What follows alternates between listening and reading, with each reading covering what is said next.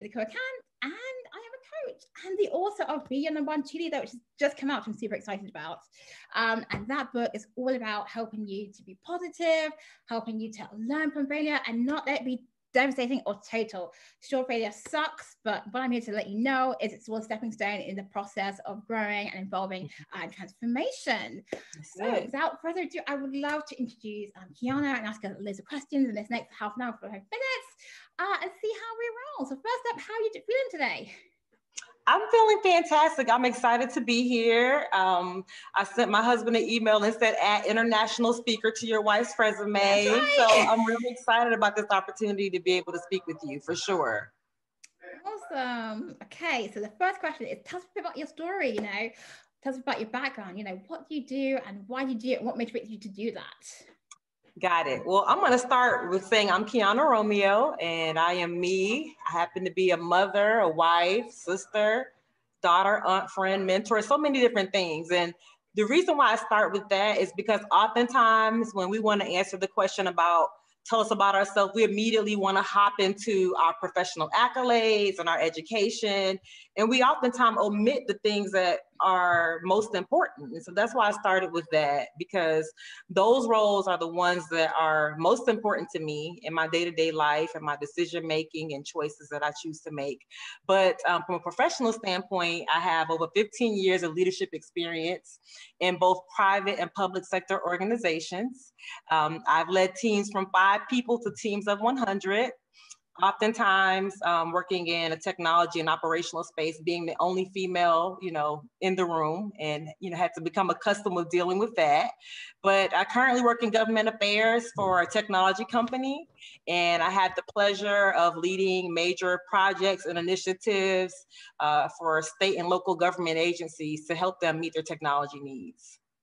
Wow, amazing. That is a breadth of stuff. Not even to mention, wait, did you tell us about your diversity of action as well? Um, did you say something about my schooling?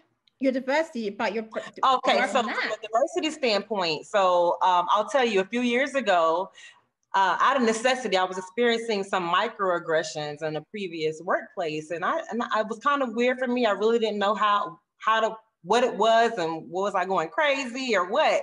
And I learned the concept of microaggressions and started doing a bit more research on diversity and inclusion and happened to go and see a speaker by the name of Eric Smith, who was doing a presentation for a major nonprofit in Florida. And I said, Hey, I admire the work that you're doing so much. I want to do it. Tell me how. right.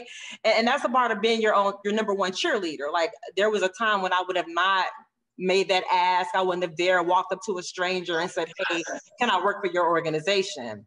Um, but I did that. And so two years ago, I started working in this space where we work with organizations of varying sizes on their diversity and inclusion efforts and having those courageous conversations with their employees, evaluating policies and procedures, and figuring out ways for an organization to not only be diverse, but also inclusive. Wow, that is amazing. That is so, so, so topical, obviously, uh, with the times that we're in, but we'll, we'll come back to that in just a moment. So okay. obviously you had such like a broad um, career and experience, and it'd be really great to talk about a little bit about like having resilience and what does that mean to you? And like, how have you applied that to the career that you've had so far?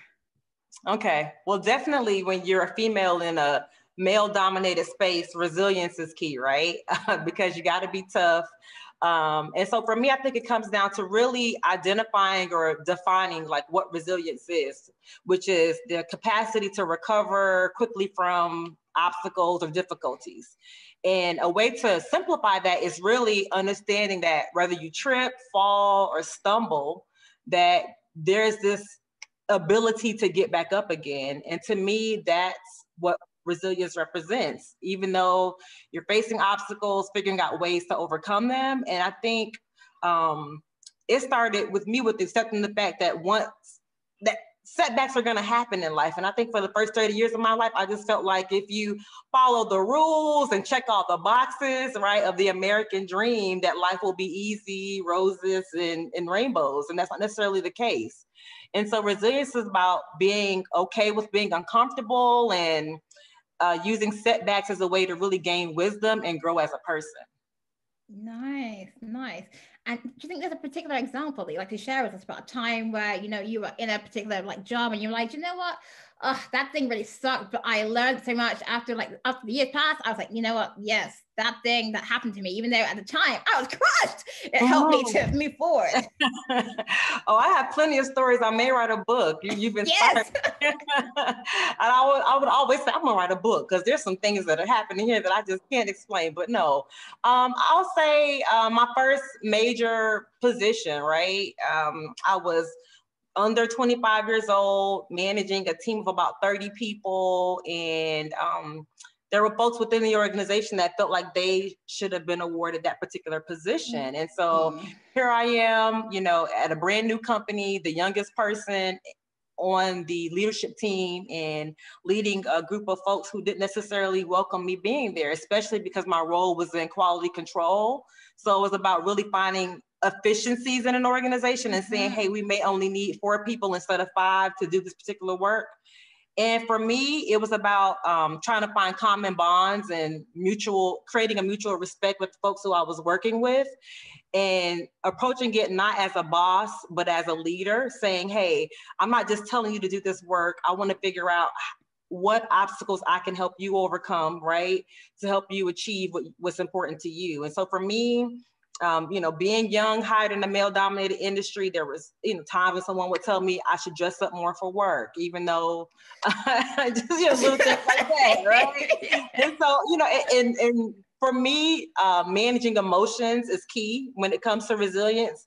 Not saying that you're not going to experience emotions, mm. but how do you manage them, right? Identifying what your triggers are and figuring out how to navigate through that is key to resilience. Oh, amazing, amazing. That oh, one of my triggers is like someone calling me young lady. Like, don't young lady me, right? Like, excuse me, I don't need you to reference my age nor gender. And so I would find that I would be triggered when someone would call me that because I didn't mm-hmm. know where that was coming from. And so, really being able to identify your triggers and identify ways to overcome an emotional reaction, whether that's a deep breath or taking a pause or not writing that angry email. Those yeah, are things. for sure.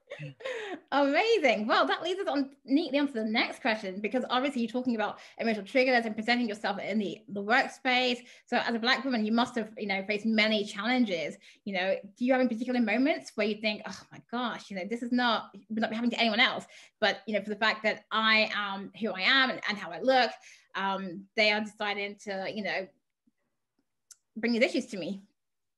For sure. I mean, that's something that I think women of color, right, we face because you have the gender and you have race, right, that you're that you're kind of battling with.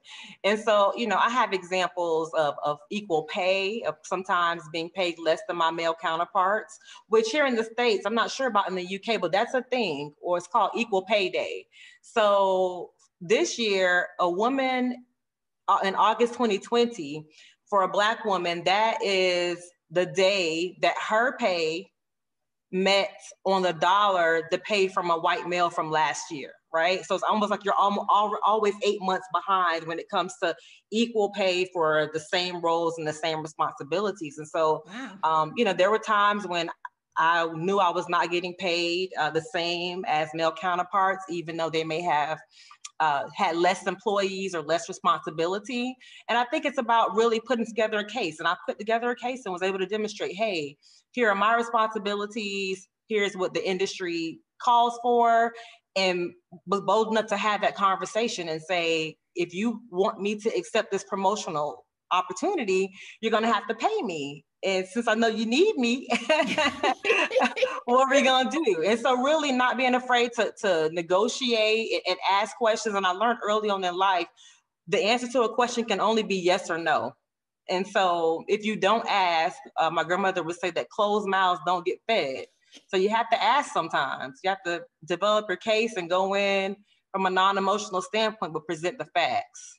Mm, mm. So, I mean, how do you develop the courage? Because a lot of people were like, you know, I, well, one, how do you develop the courage? But two, how can I present the case? Like, can you give us some examples of things that, like how you gathered your evidence to like go to that meeting where you're going to negotiate? Because I think that'd be great to share with everyone.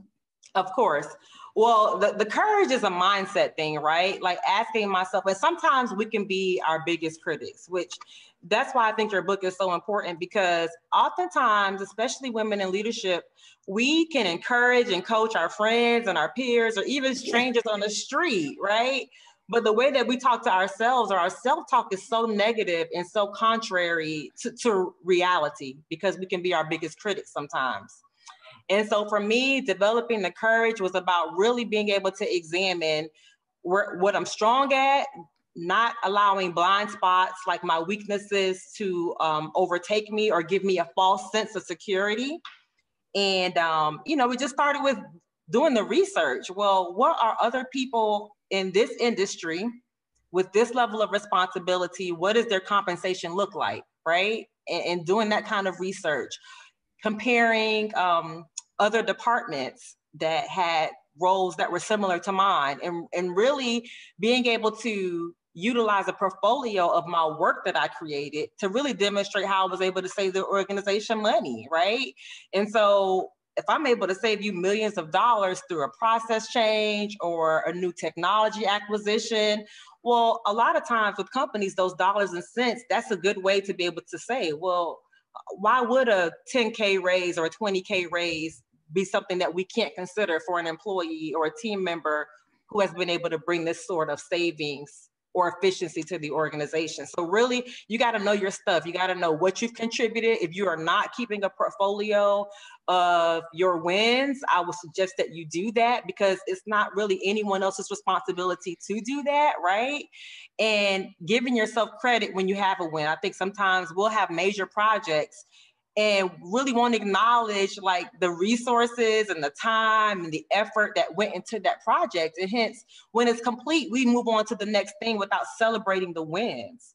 And a part of celebrating the wins for me is throwing it in my file, right? When you get that that great email from the vice president on what a great job you did, just throwing it in my Kiana file on my email. And you know, when it comes down to evaluation or asking for a pay raise or to be reconsidered for a position, I use my work as a reflection of what I bring to the organization. Nice. That is really good. And that really helps people to get a structure towards that thing. But I want to ask you just to like um uh, develop on that. Do you have a particular like um phrase or like sentences that you use to know that you you want to keep firm in you know believing in your wins and not backtracking to oh I assisted. I I helped to make that saving, mm-hmm. but it wasn't totally me. you know, and that's so funny because we'll do that, right? As women, we'll say, well, as a part of the team, it kind of reminds mm-hmm. me like your projects in college, where there's the one person that does the majority of the work, but then there's four folks that get credit for it. And what I find sometimes in the workplace is the folks who haven't necessarily done the heavy lifting seem to have no issue with taking credit, right? And so my little mantra to myself is to maximize the moment. And um, when the opportunity or time presents itself for me to share uh, a project or an initiative that's been successful, like really being strategic in whom I share that with. Um, you know, having an elevator speech developed depending on who I may run into, right? Um, all those things kind of go into play. But really, for me, my mantra is maximize the moment. Like, how am I going to maximize this moment for my my physical, personal, spiritual, career gain? Like, how, how do I make this into something that will equate to a uh, return on the investment of time? Mm, okay, this I love this. So one final question before we move on, and that is like, how do you mind your feelings about like possible rejection because you, you're not certain that you're going to get what you want? Mm. Yeah, and rejection hurts. It does, and I think it starts with sometimes uh, we'll experience rejection and we'll downplay it and we won't really allow ourselves to feel right? And so for me it's about um, allowing myself to to feel the rejection and acknowledge that this hurts right? And then saying okay well what am i going to do now? Like okay so um, and i and thankfully this has not been my experience recently but i think about one of the first jobs that i applied for right out of college. I didn't get the job and i was so hurt by that right? And I had a little pity party, but then I decided, mm-hmm. okay, but what's next? Well, that's what I think is going to be key. Is it's really being able to affect that mindset. That's key. Amazing, amazing. Now let's just whip back to that your work on diversity and inclusion and think about like all that's happened with, you know, George Floyd and Breonna Taylor and all the unjust things that we've seen in America and internationally, not, not just America. Um, you know, so what I want to ask you about is like how can companies who are forward looking and want to embrace diversity and inclusion, like have the courage to have those difficult conversations um, with their employees about, you know, what does that mean for the company? That's good. That's a great question. One, I think it starts with acknowledging that there's been too many names, right? Like you named a couple that have occurred here in the States, but there's so many more. Sandra Bland, Freddie Gray, like the list goes on and on, and the and it has to stop, right? But what I find um, one of the first things that when we were having these conversations um, in the heat of the summer of 2020, there were certain people, no matter what field that they were in, whether it was higher education or corporate, or folks would just say, no one's asked me how I'm doing. I would have, you know, black clients that would say, no one's asked me, like with everything that's going on in the world, no one has asked me how I'm doing. I think it starts with that. Mm-hmm. Like taking a sincere personal interest in your employees and um, although maybe prior to 2020, talking about race in the workplace was something that could be avoided, but at the height of the summer, you had to say something. And I think there were many organizations that rightfully so came out and made diversity statements about um, their stance on racial inequalities and injustices. But the second step is putting your money or your actions or your resources where your mouth is, right? And I think um, organizations need to really focus on having an inclusive workspace model, right? Not just focus on diversity, but inclusive. Do people feel included, right? Not just have you check the, the boxes of what diversity means. And diversity is not only focused on gender and sex, it could be ba- based on millions of other things like religion, other preferences. And so I think it's also important to ask yourself as a company, does your executive team portray diversity and inclusion? Mm. If your executive team does not mimic or reflect your workforce, well, then why is that, right? We got to ask ourselves that question because it's important that back people from various backgrounds have a seat at the table and are able to make some policy decisions and influence the organization's direction. And so I think your executive team certainly should reflect diversity and inclusion. I think small things that you can start with is just really acknowledging multiple religious and cultural practices, not just taking um, the viewpoint of it's Christmas and Christmas alone, but what are some other religions, right, and other cultural celebrations that if we're going to do that as a company, that we're being inclusive, right? And when you think about it, the amount of money that it takes to onboard and train an employee, you're, you're going to come out better on from a bottom line perspective when you're including diverse mindsets and opinions, but you're also going to save money because you're not going to be going through this cycle of hiring and rehiring people because they're not happy or they don't feel included as a part of the workforce. Yeah, no, I mean, for sure, for sure. So I just want to keep that theme and ask, you know, like if you are like a woman of color or a woman in general, and you feel like you want to be able to approach, you know, your colleague or senior member of, of staff um, at your company to, you know, talk about um, these issues like how would you suggest like they approach it in the first place? And the second thing is if they want to like actively like have some kind of group like what would you suggest that they, they do to help that you know be become um, a grassroots of things in the company and the company actually um, take that thing on board and, and not just be like a side thing that people just trying to like you know push by themselves. Yeah because that happens sometimes for sure. I think um, depending on your position within the organization uh, trying to find an ally that is a key decision maker would certainly assist you in championing a process or a project such as bringing on a diversity or inclusion efforts within an organization. But really examine company culture with the leadership team and ask yourselves the question is every voice welcomed? Is every voice heard? Is every voice respected? And if the answer is no to any of those questions, that's where you start, right? That's where you start. Is it an issue of folks not being heard? People not being respected or they're not even being included as a part of the conversation. And so I would start with, uh, if you know, if I had a lower position within an organization, finding an ally in leadership and, and having that conversation and asking them their opinion, and then going back to the dollars and cents and demonstrating how companies that have women on their boards or have a diverse workforce, how they're able to really experience financial gain in comparison to their counterparts that don't and um, what you described was an affinity group. So anyone can start an affinity group, and it can be based off of folks that like to play softball or black women within an organization or um, hispanic men those those are called affinity groups and i think oftentimes affinity groups aren't always considered by companies but it's a great way to help build community within an organization and i've worked for some large organizations that have had uh, black leadership affinity groups where I have the opportunity to meet with and exchange ideas and talk with people that happen to look like me, right? Who had similar experiences. And I've been able to gain great mentors through affinity groups, uh, lifelong connections, but also wisdom on how to navigate through what's considered the corporate leadership ladder um, through having a place called like that's considered home, which is that affinity group. And in regards to affinity, group, affinity groups, do you think that um, a person from HR should be a member, or they should just be invited to, you know, attend at certain meetings?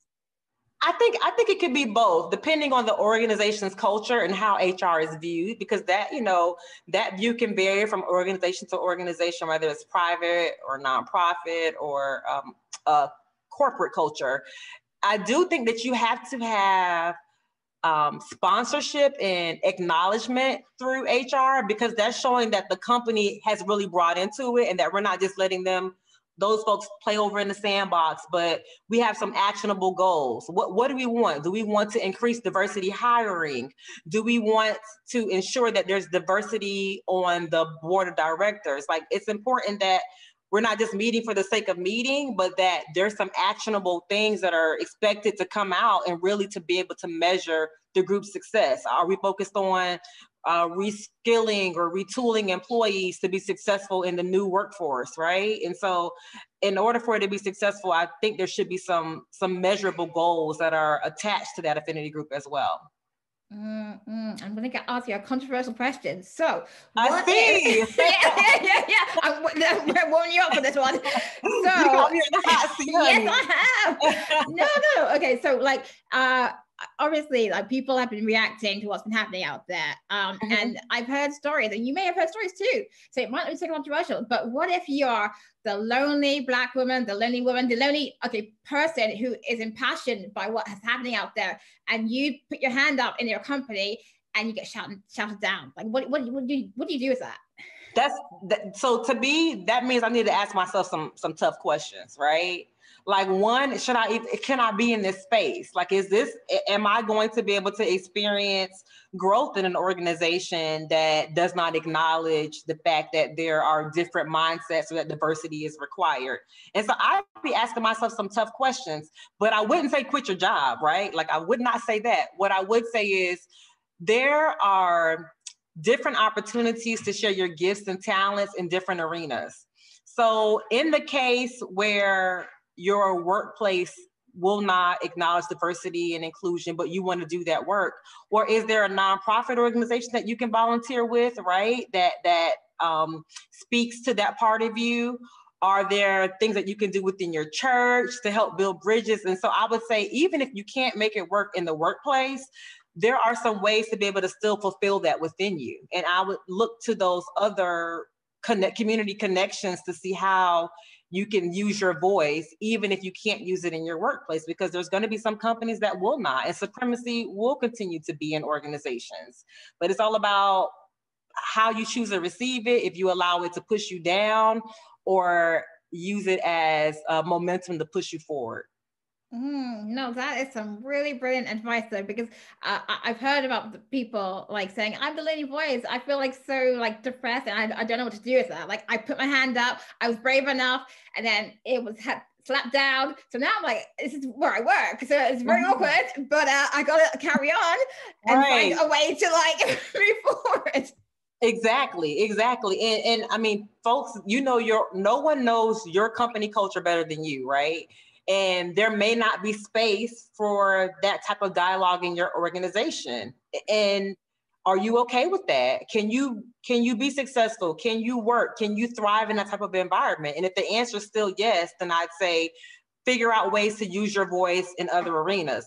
But if the answer is no, then perhaps there is a bit of soul searching that needs to happen to determine if there's an organization that better aligns with your your personal values. Because i think there was a time when people would say you know it, there's different buckets. There's a personal bucket a career. That's not true. Like we bring ourselves to work every day. I can't take off my skin. I can't yeah. you know change my gender. It's who i am and, I think the older I've gotten, the more important that has become being with companies and in spaces where my voice is not just tolerated, but celebrated.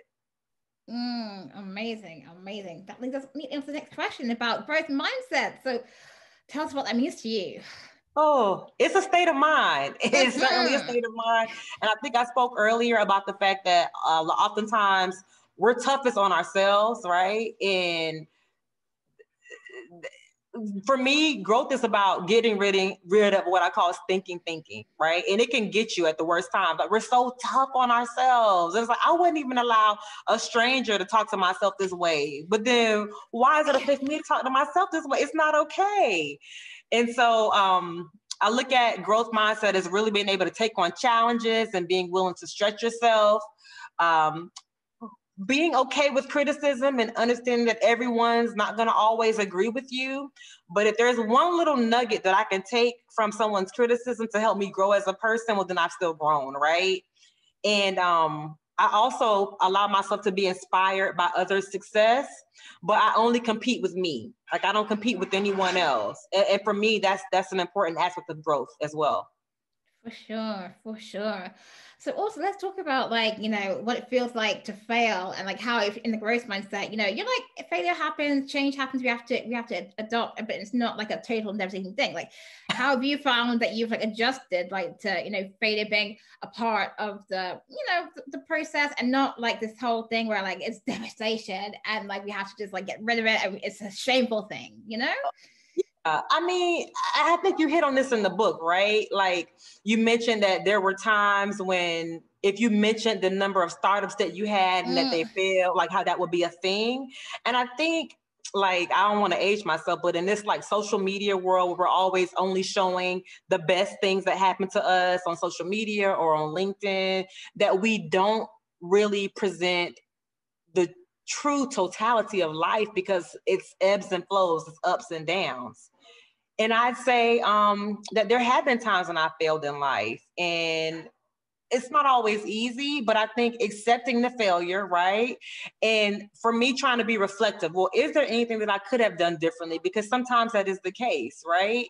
And really being able to evaluate my decisions or my contribution to the failure, um, what I could have done differently, but but then taking those as lessons and putting those in my back pocket for when I move forward because the goal is to try to pass the test, right? Not to keep reliving the same failures over and over again. That's not growth. Like it's okay to fail, but if we keep doing the same thing over and over again, we may need to readjust something because that in itself is insanity if we're doing the same things and expecting a different outcome. But sure. failures happen and that's life and that's okay. And I'm not afraid to tell people when I failed either. Like it's a part of my story.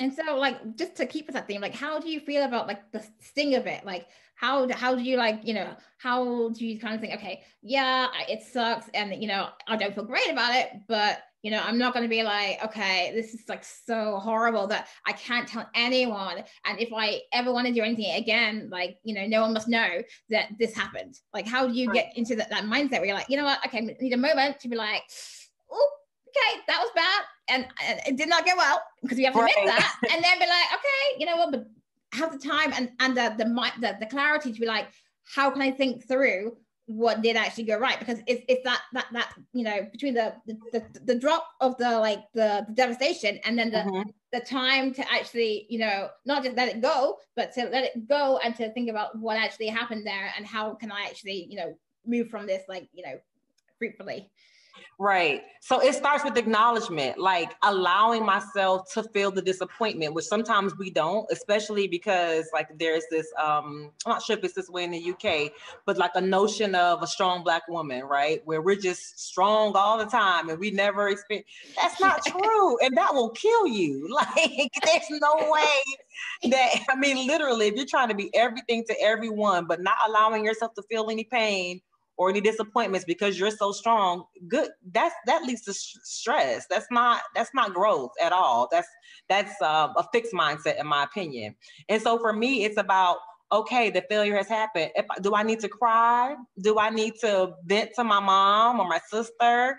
Do i need to scream right? Like what do i need to do allow myself to go through that but realizing that that cannot be the forever. That cannot be the end of the story, right? Because I feel like every day that we get up, it's a new day. I really literally feel like every day is a new day to do something. So if I'm awake and I happen to, I'm waking up alive, then there's something for me to do. And I really own that. Like, I think it's key. Um, but accepting the failure, but then moving on and figuring out what's next. Because if you're not growing, if you're not moving, I really feel like you're not living. Mm, mm. So then, while we just finish up this little segment, so is there anything that you'd like to, to add to your your growth mindset attitude, like a tip that you, you share with people to help them to like get in that way that they're more of a fixed mindset kind of person, someone who was as used to adapting and changing and trying to like you know get on with a more flexible relationship with, with failure. Right. Be willing to accept challenges. Be willing to accept obstacles but then ask yourself, well, what's next? Like, what is next? And there, and you've seen people who choose to live in that, right? They're like inherently negative. They always see things from a dark perspective. But is that growth? Is that happiness? Is that peace? And to me, the answer is no. And so you accept it, you feel the pain, and then you figure out, you ask yourself some tough questions to figure out, okay, what's going to be next. Yeah, for sure. Because actually, sometimes like living in the pit of negativity, it takes more time and energy. and people like that drain me. Like I don't even want to hear it. Like I really just don't even want to hear it. And not saying you can't be a good friend, right? Someone's going through something to take that. Uh-huh. But if it's always negative, like I've just got to the point, honey, where I, I just can't do it. Like we're, we're, gonna have a let's let's figure out how to see the sunshine in this. Let's figure out how to grow from this that's what it's for all sure, about. For sure. Like mm-hmm. we need to take a moment as we, we, we've discussed, but you know, it has to be a brief moment and then we move on to like yeah, keep living, right? Because if not, how are we gonna eat? right? Like what what are your priorities here? And I, I, but but I do believe it's okay to have a little pity party or you know, go through that emotion, but then it's pick yourself back up and let's figure out what's next. And um and that really leads me to making sure that what are you doing from a spiritual standpoint? Like i mean for me meditation has been good for me right? And praying. Um are you doing any physical activity? Like though there's so many things that you need to be doing um, in order to stay on that path of growth. And it's not just uh, getting certifications or getting high paying positions Mm-hmm. I'm gonna throw an element into the mix. So, like, what helps you to like, um, you know, not worry about perfection and put yourself out there boldly and be imperfect? Because sometimes you're gonna make a mistake. Yeah, I make them I all the time. me, me, too, but I own them. Like it, it happened, and it's not to say that I have low expectations for myself, or I'm like, oh, I failed, haha, like that's like mm. no, I, I you know, I want to win. But I think um experiencing failure helped me get over this notion of perfection, right? But you got to do the work. Like I had to really figure out what's important to me because a lot of times you live life based on what is important to everyone else, like how your parents are going to feel or your spouse or your children. So I got was able to get over perfection when I one was able to like rediscover what my priorities were, right? And something that may be a 10 or your top priority for me may not be my top priority for myself. And um but I'd say for the first 30 years of my life, honey, I was very much so stuck in in this spin of perfection. And um I just find that you're on a rat race, like you're on that little wheel for the hamster. You're going to keep turning and turning. You'll never be able to to really achieve that. Um, but do I have goals for myself? Absolutely. Um, do I have high expectations for myself and my loved ones? Absolutely. But do I expect perfection? No. Mm, mm, because sometimes, like in that desire for perfection, you know, it leads to procrastination and inaction, and not actually going for your goals and your dreams, and then regret, and then horrible negative feelings. Um, it's a cycle, and it just happens over and over again, right? And I think you talked about that in your book too. You talked about like um, just staying in that research stage forever, right? Yeah. Or just like look at so much data. It's like okay you got to go. You got to make a move. You got to make a decision. It's time. It's time. But we're not always taught that as kids, right? Uh, cr- to critically think. Um, sometimes folks always have an answer for you. And so I think it really asking yourself some basic questions, some open ended questions to get to the bottom of where your priorities are and, and letting go of perfectionism because it will drive you crazy. I'm convinced of it. Mm, mm. And one final question on this topic, which, which is how can you like spot those negative like thoughts in your mind and how can you like challenge them? Because I think a lot of the time that, you know, we're quite used to like how we think and we think that we're thinking, okay, most of the time we think we feel like we're mainly positive, but sometimes it takes someone else to be like, you know what, hey, Caitlin, do you realize that like 50% of the things you say um, have a, a down inflection upon you? Did you know mm-hmm. that? yeah. yeah, it happens all the time. And you know what? The, the transparency is key because I can say, you know what, I'm a business coach. I help people with projects. I lead teams, but I would not be being honest if I didn't say that sometimes I can be critical of myself, right? Um, and that can be in the form of not being able to receive a compliment. Did that ever happen to you where someone will say, "Oh, you look great," and you're like, "Oh, my hair is a mess," or "I need to lose weight," or da, da, da, right? Like all that negative self self talk that we we do to ourselves constantly. Um, but for me, it had to become intentional. So, really acknowledging the fact that I am with myself more than anyone, right? I hear my voice more than I hear anyone else's. And especially as you do this work when it comes to diversity and inclusion or coaching professionals, you're really teaching other people how to be more positive in the way they speak to themselves. And so it holds me accountable to be aware of that too. And when it happens, and if I get called out on it, I can acknowledge it. So if you compliment my top and I say, Oh, well, I need to lose a few pounds, you say, Well, the top looks great. I'll stop myself right there and say, You know what? Thank you for that. You know, thank you for helping me correct my negative self talk. But it comes with um, really being honest with yourself and allowing yourself to hear your voice. Yeah. And, and and saying to your asking yourself, am I kind to myself? Like I'm kind to me first right? Because everyone's not kind to themselves. And I'd say now that is imposter syndrome because it starts with you. Yeah, 100%. You have to be kind to yourself and you have to challenge the voices in your mind and not take them as fact. You have to ask yourself, is that really a fact? Because you, you know, you're just so easy, you're so like used to listening to yourself. And you might even want to ask yourself, would my best friend say that about me? And then think, oh no, then clearly that's not right. right, right. Right. And your best friend knows you, you know, yeah. very well.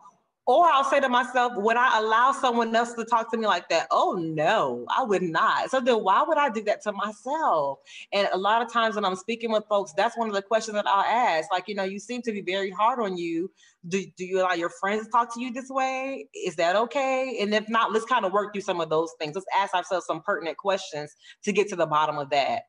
But affirmations are key. Like I have a little affirmation, I think it's called I am on my Apple Watch. And it's just a little oh, app cool. that I go to. Yeah. And so I, I, really believe in affirmations. And I'll just Me say them out loud. Yeah. I'll say them out loud to myself. And I'm not crazy, but I am um, owning the fact that words have power. And I want to affirm myself with positive things. That is beautiful. That's really awesome. Yeah, I mean, I'm a fan of affirmations. I like to like write them and stick, stick them up. Yeah. Um, sometimes I like to hear them too. So let us just um, quickly um, end with um, you know, you read the book. Is there any key insight that you'd like to share? The book was so good. I'm like, if I'd had the book 10 years ago, like I'd be so much further in life. um, but to me, the best part of the book was the transparency. Like you sharing your journey, which I think that your idea would be great to implement right now because there's a need in the market. But um, transparency is key, really addressing and tackling imposter syndrome, right? um, and acknowledging that we all fight that. That was one of the major things for me, like the resilience in that, and really being able to figure out ways to uplift ourselves and turn that around and seeing how we can help our community or the people that are around us. For sure. We need to like cheer for ourselves and for our community and our best friends. Absolutely. So, you know, and, if exactly. you, if they're not doing that, you need to ask yourself, do you really have friends? like they should be encouraging you for sure. Yes, yes, they should be. And if they're not, maybe you need to be finding a new crowd. That's exactly right. That's exactly right. I agree. No, because sometimes you know you get so used to a certain kind of crowd and certain thoughts in your mind that you don't notice until you know you meet someone else and you're like, "Whoa, this is not how I want to be. I actually want to like grow, and I need to find more people who are in that space uh, or ahead of me that are you know you know, thinking the things I want to think, who are saying the things that I want to, you know, get hold of, and who are making the progress that I'm seeking to make. Exactly, exactly. I say to my kids, well, who's the rabbit in the class? Like, chase that person, right? And so I surround myself with people from varying backgrounds at different places in their lives. And some folks are right where I'm at. Some people are going through things that I've already gone through, and some people are folks that I aspire to. And I think it makes sense to have a well-rounded group of folks in your tribe, right? Because it's a give and take. I'm giving to those who are coming behind me, but I'm taking and receiving wisdom and knowledge um, from those who I have as mentors or, you know, as personal cheerleaders. Oh, amazing. Okay, so let us wrap it up. And let's before we um, wrap it up, you know, um, is there anything that you want to share with us about what you're up to? And of course, tell us how to keep in touch and follow you on your great adventures with diversity and inclusion, which is very important in this day and age. Well, I appreciate that. Um, diversity and inclusion has always been important. And I would mm-hmm. say, I would challenge you if there are not efforts going on in your company or conversations being had around this topic right now to um, work to figure out how to gain the courage to be that voice, and there's a way to do that. Uh, I'm available on LinkedIn, Kiana Romeo, and I'm working on some things for female empowerment as well right now, just to um, continue to be a cheerleader for those who are around me. And we oftentimes assume people that are in leadership positions don't have problems or don't need encouragement. That's not the case. We all need each other to be our cheerleaders. Amazing, amazing. So if they reach out, they can find out more about the empowerment stuff. Is it going to be online? Is it going to be global? Like, tell us more. We're excited about that one. Got it. Got it. well, right now, um, we were working on developing a women's conference. It was kind of in play prior to COVID. We put things on mm-hmm. hold because of what's happening. I'm trying to look at what that will look like next year, if we will be able to be in person or if it'll be something that we'll try to do um, via Zoom or another online platform so that we can have a global audience. Um, but bridge-key.com is the website. And um, we're going to be working to really get things moving and continue to figure out how we can encourage and empower each other. Mm-hmm. Okay. And just one final question. Um, do you yes. have any particular recommendations of like resources or links for people who want to explore diversity and inclusion more, um, you know, both from the US and the UK standpoint? Yes, um, there is a program called Courageous Conversations, and a lot of and I'll tell you, a lot of diversity and inclusion training and certification is very expensive. But Courageous Conversations is an opportunity to participate in a small one-on-one version of group coaching discussing um, diversity and inclusion. And I would say start there, and that's a great organization that will help you and empower you to have courageous conversations that ultimately will lead to employee development or affinity programs or other things for your organization. Oh, amazing. Well, with that, thank you so much, Kiana. It's been an amazing um, almost hour. We have learned about your story. You have shared about oh, so many great tips and it was fun. You know, it was fun. It was fun. The time flew by, but I, it's just been a pleasure, and I just applaud you for what you're doing. Continue the good fight. We need you. We need to hear your voice. I'm looking forward to part two. Oh, thank you. Well, Have a great day, everyone, and see you soon. Take care, all. Thank Bye. you. Bye.